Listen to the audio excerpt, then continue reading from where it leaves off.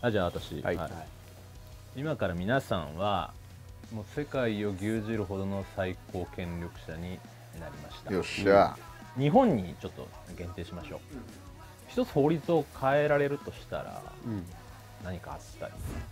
一つ何か一変えられるつ何か変えられたり、えー新しい提示ができたりはい。じゃあはい。もう俺、その普通にガチの法律で、うん。やっぱ特定秘密保護法無理やり通したやつうんは良くないと思う、うん俺あのデモ言ってたんだけど、うん。あの別にそれはその政治的にすごい思考があるわけではなくて時代的にすごく大きなうねりになる過去を遡ってあの時のあれがってなるかもしれないのは見といた方がいいと思って、国会に車で行ってで傘さして見てたんだけどあれを見てその麻生さんとかはあ意外と少ないねって言ってたんだよね、うん。中で。でも外では赤ちゃん抱いてるお母さんがびしょ濡れで、その赤ちゃん心配になっちゃうけど、なんかその本当に政治的なその意志が強くて訴えてたりとかシーズが学生なのにバーって頑張ってたりとかでわけわかんないやつはそこにこう警備で立ってる警察にも「お前立つて恥ずかしくねえのか」とか超罵倒してんのよ。もうなんかどんどんずれてっちゃうっていうか、その強引な振る舞いで全部がずれてっちゃうからこれがその多数決で決まったことなんだったらいいんだけどやっぱりその総意を集約して管理するのが祭りごとであるべきだなと俺はそう見て思った、それが合ってる合ってないの問題じゃなくてやっぱこれは上級国民の人たちが一般人の人たちを管理してるっていう多分感覚だからこうなっちゃうんだと。思う。共存して自分がじゃあ視聴覚委員やりますとか学級委員やります、体育委員やりますって感覚で政治家になってたら多分こうはなんないから、なんかそれはやめた方がいいなっての生で見て思った。その法律がどうこうってよりはそのシステムっていうかありがとうございます。ありがとう。社会派遣者なるほど。これまああれなんですけど、そのやっぱこう世襲制というか、うん。政治のその濃さうん。は平たく直すべきなんじゃないかなっていうのは思いますね。でやっぱり問題になるところそこ多いんでやっぱいまだに、なんだかんだ言ってやっぱりその癒着があったりとか、やっぱ息子がねそのまんまやっぱ政治の道に行ったりとか、地盤をね。引き継いでそれでなんか素晴らしいことをしてくれるんだったらいいんだけど、うん。なんかやっぱこうそんな大事なことを決めるのにあ親がやってたから俺もやりますじゃなくねみまあたいな。そうだよね。のはあるかな。だから世襲制撤廃、はい、公平性が一応求め,、ね。求められる場所なんでやっぱりなんかそういうの綺麗になるといいなとは思います、ありがとうございます。ありがとうございます。そうね。まあちょっとまあ身近にあるうんうん。最近のあれとして、うまあ家俺横浜横浜市なんだけどいま、だにこう給食じゃないんですよ。弁当なの。え公立？公立。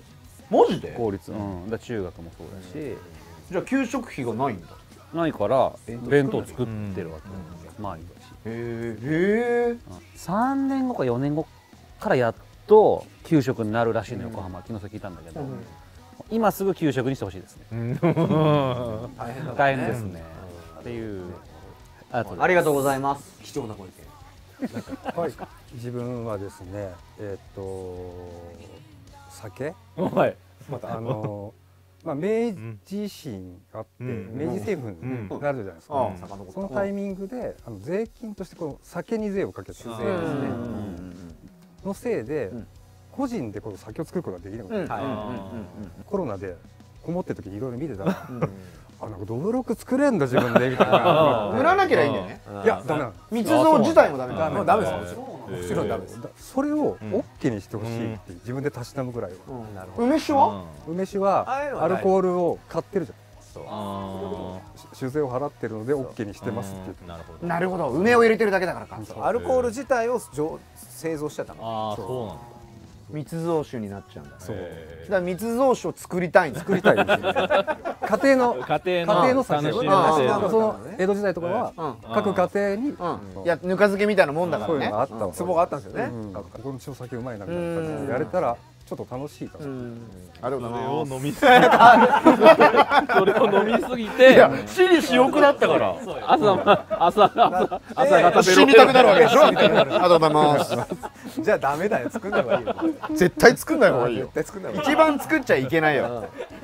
で私なんですけど、はい。えー結婚歴離婚歴ありますが、これあのーリップスライムの良二君が言ってたセリフのあ話を受け売りなんですけど、えー三婚制という、えー制度を、うん。えー設けようと、うん。三婚。三婚。三回結婚するっていうで三婚制らしいんですけうん。ど二十、歳になった時にうんうん。40歳の方とうん。結婚、うん。そして自分が40歳になった時に離婚してうん。次は二十歳と結婚する。うんうんそして自分が60になった時に、うんまた離婚して、うん。60の異性と結婚するっていう三婚制、うんうんそうすると、うん。結婚もしなきゃいけないしでもそれでも離婚をしなきゃいけない。それでその40年間培ってきた20歳から40年間付き合ってきた60同士が結婚すればおそらく最後まで幸せにいけるんじゃないかという、うん。三婚制というのをうん。良二君が言ってまして、うん。これは僕僕僕はもうあの当時は、えー離婚も結婚も経験してなくて、ああ面白いね良二君って思って聞いてたんですけど、いざ自分がいろいろ経験しましてとてもいい生徒なんじゃないかなと、えー思っております、えーでこれはね皆さんにもうでもあと今からできるの60の方に60の人と結婚するだけだよ。そうだよ、ん。そうそうだけど。でもそれは最後までテープをねね。走り切る、うんうん。まあもちろんねそんな制度はないし皆の今えー今皆さん結婚していらっしゃる方はね素晴らしく最後までゴールテープを切っていただきたいんですけどね、うんうんうんありがとうありがとうございます